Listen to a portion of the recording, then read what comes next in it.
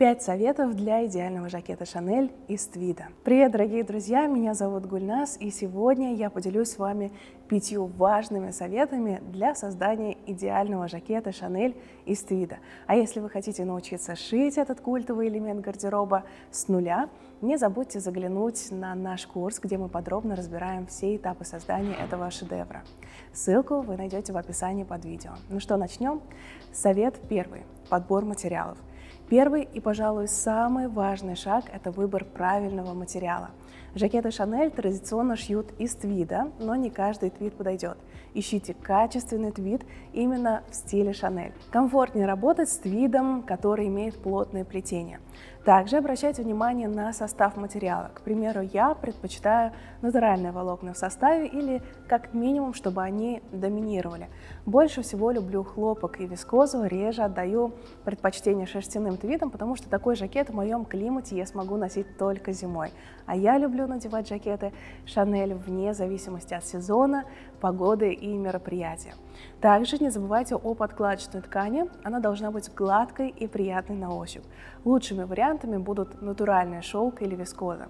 Вискоза, по сути, также является натуральным материалом, поэтому вы с уверенностью можете использовать вискозную подкладку для вашего жакета. Но и стоимость вискозы в разы ниже натурального шелка. Также в качестве альтернативы можно использовать купра или модал.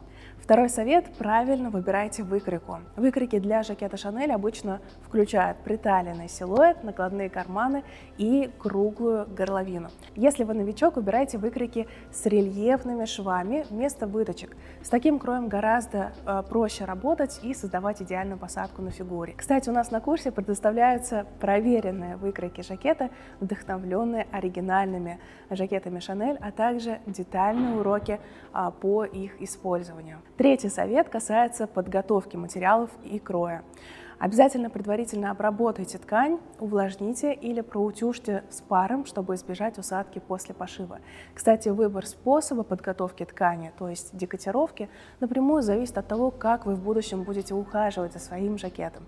То есть, если вы планируете сдавать его в химчистку, то в качестве декотировки можно просто проутюжить вид с включенной функцией пара.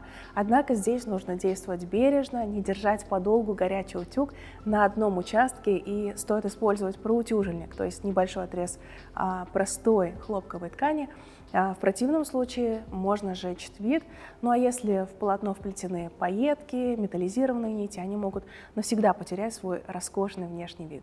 Также при раскрое, конечно же, используйте острые ножницы, работайте на твердой поверхности, не поднимайте полотно. И не забывайте о том, что припуски а, в твидовых жакетах должны быть увеличенными. Четвертый совет – правильная технология шитья. Шить жакет Chanel можно по-разному, и в зависимости от того, какой способ вы выберете, вы получите совершенно разные по ощущениям итоговые жакеты. В двух словах, если шить по кутюрной винтажной технологии, то есть той, которую использовали во времена Коко Габриэль Шанель, вы получите самый комфортный, обволакивающий и окутывающий вас жакет, который, как вторая кожа, практически не ощущается на теле. Более того, со временем его посадка на фигуре будет становиться только лучше, потому что каждый раз, когда вы его надеваете, он под теплом вашего тела еще больше подстраивается под вас и максимально пластично движется с вами на протяжении всего дня. Настоящий живой жакет. Ну а если вы сошьете жакет а, по современной, упрощенной технологии, таких спецэффектов в жакете не будет, но современные технологии позволяют создать жакет максимально короткие сроки, в отличие от кутюрного.